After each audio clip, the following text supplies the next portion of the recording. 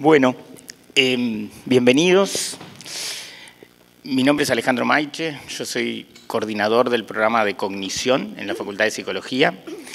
que es el programa donde pertenece Alejandro Vázquez, que como ustedes saben es este, pieza fundamental en lo que vamos a ver hoy de los cinco años del INDE. Yo básicamente, este, bueno, voy a presentar antes que nada Cecilia Fernández, la prorectora de investigación de la Universidad de la República, Pablo Cayani, consejero del CEIP, Elizabeth Ibaldi, consejera de Codicen. Este, vamos a, nada, mi, objetivo con estas palabras es simplemente abrir este acto. Este, después cada uno de ellos van a decir algo en relación a sus instituciones. Para mí, honestamente, es un, es un es un honor abrir esta jornada. El INDI ha sido, eh, de alguna manera, un proyecto paradigmático para nosotros como programa de cognición, porque resume muy bien lo que entendemos que es la vocación natural del investigador universitario. Es un proyecto que surge, financiado por CSIC, como un proyecto de investigación, podríamos decir, puntual, pero que en el camino del desarrollo de ese proyecto de investigación encuentra autoridades comprometidas con la creación de conocimiento local desde una institución hermana, en tanto institución educativa de lo público, y apuesta por esa construcción local de conocimiento que de alguna manera permite la generación de un círculo virtuoso, porque por un lado redunda en potenciar la formación de capacidades a nivel de investigación, que es en parte la misión de la universidad, y por otro lado logra dar respuesta a las necesidades del sistema en un mismo movimiento. La verdad que si uno lo mira en perspectiva, y eso es parte de la jornada de hoy, de los cinco años, este, uno tiende a, estar muy contento del proceso y a la vez a desear que esos círculos viciosos, perdón, virtuosos, se puedan extender a otras áreas de necesidades del sistema educativo. Particularmente el programa que yo represento, la cognición humana, tiene vínculos históricos con el aprendizaje. Y en ese sentido, la vocación de todos los docentes e investigadores que integran el programa es colaborar específicamente con el desarrollo de la educación en Uruguay, de la educación pública en Uruguay. Y la verdad es que vemos que hay muchas áreas naturales donde el programa podría colaborar, fundamentalmente en lo que tiene que ver con las bases cognitivas del aprendizaje. Y si bien sabemos que estos círculos virtuosos no son fáciles de producir porque necesitan justamente el encuentro de dos cosas que no es muy sencillo encontrar y que se amalgamen bien, ¿no? que muchas veces pasa también por las relaciones personales. En este caso yo creo que es, claro, Pablo viene en representación del SEI, pero sin duda ahí Irupé jugó un papel muy importante y Ale Vázquez también, y fueron construyendo una relación de confianza que les permitió realmente que ese círculo fuera un win-win para los dos lados. ¿no? Este, la posibilidad de extender estas relaciones a otras áreas, en este caso de la cognición, tiene que ver con, con las relaciones personales, pero también tiene que ver con el involucramiento de los ciudadanos, en tanto son los que marcan la responsabilidad política de los que toman decisiones, y de alguna manera nos ayudan a todos a forzarnos en esa necesidad de más círculos virtuosos. En este sentido yo quiero ser claro con una cosa y con esto termino. Eh, no puede ser una especie de cosa tácita que la contraparte natural del sistema educativo tenga que ser laudelar. Pero sí es bueno que los ciudadanos sepan que la universidad tiene instaladas capacidades en muchas otras áreas que pueden ser muy importantes para el sistema educativo. Porque los ciudadanos tienen un rol a jugar en eso. Y el programa de cognición quiere dejar claro en esta pequeña presentación que su vocación fundamental es contribuir justamente a las necesidades del sistema educativo y que para eso es que trabajamos en la UDELAR.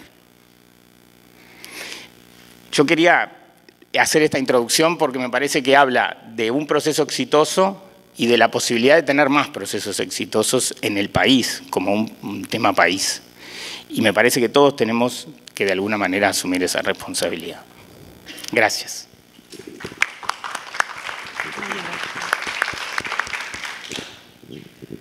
Bueno, buenos días. Este, yo, bueno, Alejandro ya les contó, mi nombre es Cecilia Fernández, yo soy la prorectora de investigación y estoy eh, representando a la, al prorectorado de investigación, en particular a la Comisión Sectorial de Investigación Científica, y voy a ser muy breve porque prácticamente suscribo todo lo que Alejandro acaba de decir. Este, capaz que aportar algún detalle más en la línea de lo que él decía. Este, para nosotros realmente es un, es un orgullo este, saber que la, primera semillita de, este, de esta propuesta de investigación, por lo menos la, primera semillita para financiar esta propuesta de investigación, porque está claro que la, capacidad y la iniciativa estuvo en los investigadores, este, fue, es un programa de, la Comisión Sectorial de Investigación Científica que es bastante pequeño en cuanto a la cantidad de propuestas que se financian, pero que busca justamente convocar a los investigadores universitarios a plantear propuestas de investigación,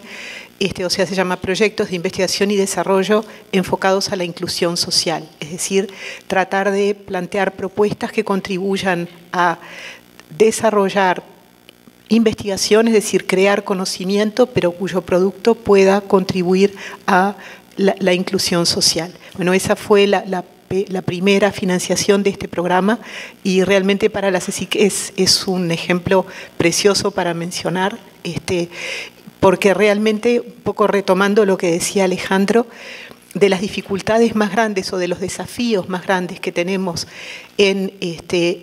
entre los investigadores universitarios es justamente poder conseguir más ejemplos como este, en los cuales el país, la sociedad, use las capacidades de producción de conocimiento que tenemos los investigadores universitarios para resolver problemas importantes para el país. Esa es, realmente una preocupación muy grande que tenemos desde la Comisión de Investigación Científica y bueno, entonces está buenísimo cuando las cosas salen bien y cuando tenemos un resultado eh, tan exitoso como este. Es justo decir que después el, programa o el desarrollo del proyecto ha tenido otros apoyos también de fondos públicos, en particular de la Agencia Nacional de Investigación e Innovación y después del programa de, proyectos de investigación y desarrollo de la CECIC también y creo que ahora tiene apoyo más importante de financiación internacional. Pero de alguna manera la, semillita fue el programa de inclusión social y eso realmente nos llena de orgullo. O sea que este, de alguna manera solo queda esperar que, bueno, que esto que está cumpliendo cinco años, los cumpleaños son buenos para mirar para atrás y también para proyectarse para adelante. No digo nada, nada nuevo con esto, pero ojalá que el proyecto se siga perfeccionando, que se siga generalizando y no sé, que ustedes los, los usuarios puedan hacer cada vez más uso de eso, ser cada vez más exigentes con los investigadores de las cosas que les piden y que quieren que desarrollen. Y bueno, así que felicitaciones y, y suerte para la etapa que viene.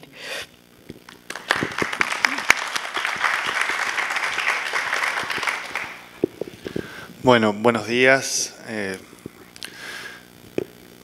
voy a intentar ser breve en nombre de Irupé, este, que, no pudo venir por, razones personales. Eh, efectivamente, contar esto afuera, contar el INDI afuera, contar lo que ha pasado con el INDI, eh, implica, bueno, eso no está pasando este, como respuesta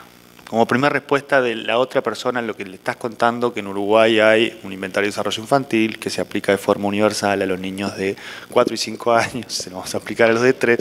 que eso nace de la Facultad de Psicología. No, voy a hacer todo el cuento, digamos, pero, pero efectivamente eh, es un buen momento, eh, una buena excusa este,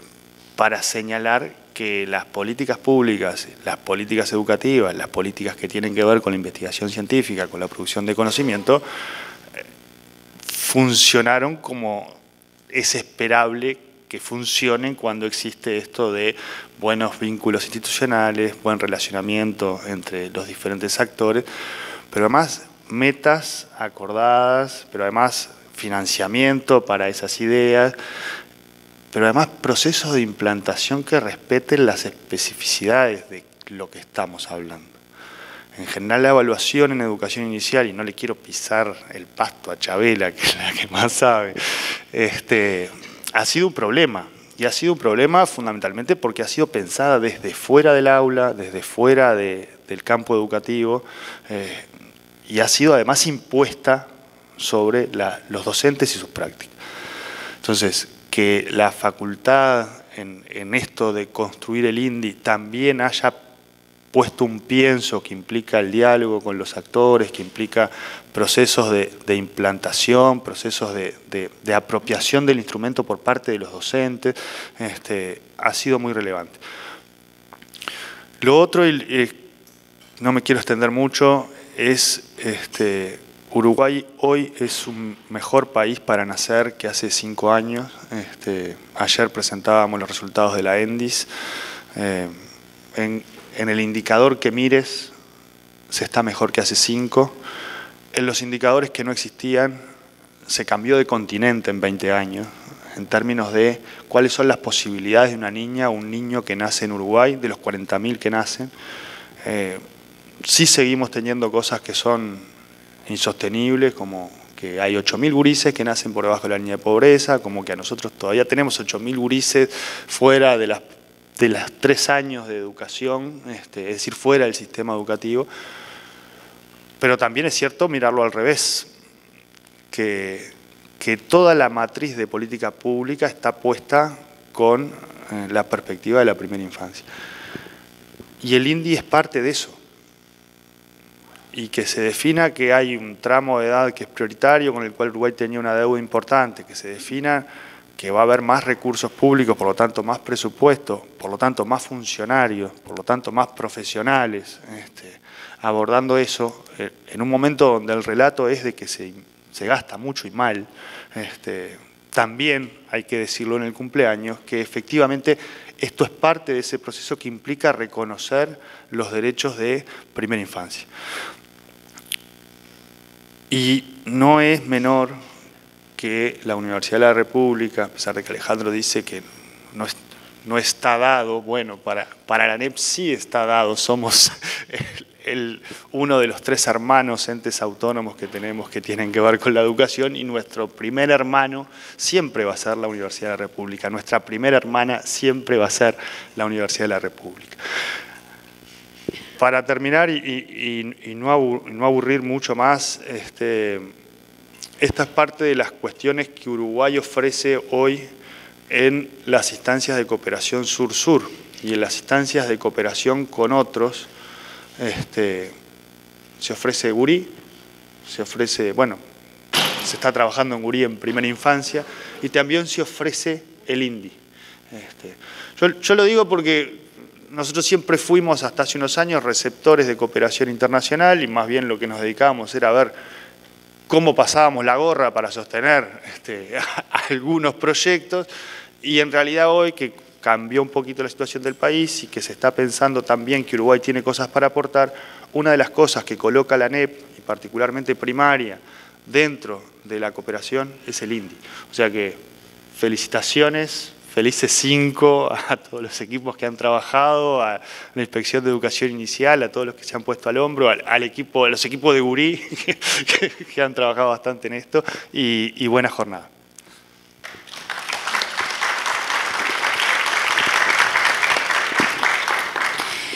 Bueno, para quienes no me conocen, mi nombre es Elizabeth Ibaldi, mi sobrenombre es Chabela y soy la consejera, lo digo porque soy más famosa desde allí. Este, eh, soy, tengo una trayectoria en educación inicial toda mi vida, este, pero soy consejera electa por las listas sindicales en el, COICE. Eh, me ha tocado traer el saludo de todo el COICE, el Consejo Directivo Central de la NEP, eh, presentar bueno, las disculpas de, su presidente, Wilson Neto, que debería estar aquí, pero simultáneamente se está haciendo el lanzamiento del Día de la Educación Pública ahora en la Torre Ejecutiva y tenía que priorizar esa actividad, este, por lo cual me, delegó esta apertura. Eh, como bien lo decía eh, Maiche, este, esto se, enmarca, este proceso del INDI, en, estos procesos de generación de conocimiento sobre la población de educación inicial, ¿no? es decir, generar conocimiento acerca de esa población. Nosotros desde la inspección en la cual integré y participé, incluso del cargo de inspectora nacional, siempre realizamos evaluaciones, pero sin duda que una herramienta general, este, pensada, este, implementada, em, que nos, permita em, incorporar la tecnología y facilitar el trabajo, eh, es una herramienta fundamental. Eh, como antecedente, decirles que en esto de producir conocimiento ya había existido una iniciativa que era la evaluación infantil temprana,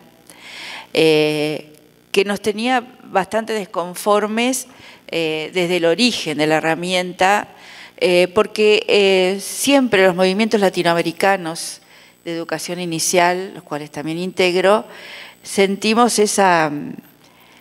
esa injusticia de medir o, valorar a la infancia latinoamericana con parámetros de los niños del norte, del hemisferio norte.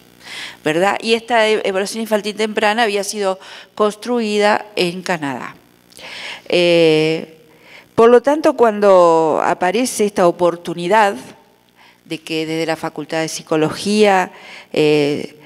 se, estaba generando una herramienta que en principio fue un proceso de investigación, que como siempre ANEP abre las puertas a, estos, a, estas, este, a estas investigaciones, eh, y bueno, y se fue valorando la creación de un instrumento nacional. Es decir, desde los trabajadores, los docentes de educación inicial, eh, vimos que había un plus, un valor en esto, eh, y que además desde otro, desde otro paradigma, ¿verdad? Eso hay que decirlo, este, desde, otro, desde otro lugar. Eh, entonces, para la NEP, sin duda esto se inscribe además dentro de un sistema nacional de protección de trayectorias educativas que se está sobre todo en este último quinquenio, se ha estado este, profundizando. Eh, y empezar desde el inicio, es decir, tener ese conocimiento de la población que ingresa a la educación formal, que está ingresando en forma obligatoria a los cuatro años, pero que a partir también de políticas implementadas en los últimos años se está universalizando a partir de los tres. Eh, y lo importante es que nos brinda información para varios niveles. Nos brindan información a nivel macro para definir políticas educativas, lo cual nos compete por lo menos a Pablo y a mí, eh, y a los, a los organismos que integramos. A nivel meso, que tiene que ver con lo que trabajan los niveles técnicos, a nivel de la inspección nacional, a nivel de las inspecciones departamentales, a nivel de las inspecciones de zona pero también a nivel micro, que es lo, creo para mí es lo fundamental, que es el nivel de aula, donde allí está el niño real, cada uno de los niños, para poder hacer una mirada de grupo, pero también personalizada. Eh, y creo que lo importante, lo que le ha dado vida a este, a este instrumento en la órbita de la NEP y en lo que tiene que ver con educación inicial, es el diálogo que, como lo señalaba Pablo, se estableció con los docentes este, eh, la palabra de los docentes, el poder analizar, el poder opinar, eh, el poder este, mm, eh, dialogar, como ya lo he dicho, pero intervenir, intercambiar sobre ese, ese instrumento se está elaborando y su real validez para la tarea docente, ese intercambio entre profesionales me parece que es lo que le ha dado vida este, a este instrumento. ¿no? Y también el diálogo que el propio instrumento está realizando con, eh, con otros, eh, otros instrumentos que utilizamos en el nivel, como el marco curricular, para niñas y niños del nacimiento a los seis años y también con instrumentos que se utilizan en otros organismos, como la guía, las guías de desarrollo del Ministerio de Salud Pública. Ese diálogo además nos facilita muchísimo, muchísimo el trabajo intersectorial. ¿verdad? Es decir, creo que esos son, son plus, son valores agregados a este proceso. Eh, nosotros desde la ANEP pensamos que es un proceso de co-construcción, si bien valoramos el, aporte académico, pensamos que lo estamos co-construyendo, ¿verdad? Y en ese sentido, este, queremos seguir co-construyéndolo y les, informo, traigo la noticia de que en esta semana se ha resuelto y se ha firmado el, el nuevo convenio, ¿verdad? para darle continuidad a esto este, incluyendo los avances que tengan que surgir con respecto a los tres años, e incluyendo también, que lo dialogamos con, lo, hablamos con Alejandro, una publicación de este proceso, porque como lo decía Pablo, también es un proceso que está siendo mirado desde el exterior, desde otros países de Latinoamérica, por aquello que les dije de la mirada que tenemos desde Latinoamérica, de la necesidad de tener realidades de los niños latinoamericanos, que hasta ahora que yo sepa la tenía Cuba y ahora la tenemos también en Uruguay. Eh, desde lo, termino ya diciendo que desde lo personal para mí es muy grato volver a estar en esta casa. Eh, yo soy un asistente recurrente, no solo con el programa de cognición, sino con otros programas de primera infancia que esta casa de estudios este, desarrolla. Eh, lo hago como docente, lo hago también como integrante de la Organización Mundial de la Educación Preescolar. Eh, y bueno, y me complace ese compromiso que hay, sobre todo con los primeros cinco años de vida, que como profesionales de la educación inicial y como profesionales de la psicología, todos sabemos lo importante que son para la vida de las personas, ¿verdad?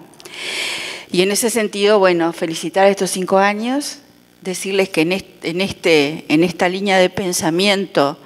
si en estos cinco años hemos podido ser potentes, como se nota, porque el, documento, el instrumento eh, vive y crece, este, quiere decir que, sin duda, en estos cinco años que hoy se están cumpliendo, se va a sustentar un exitoso desarrollo posterior, porque así es siempre. Bueno, felicidades entonces.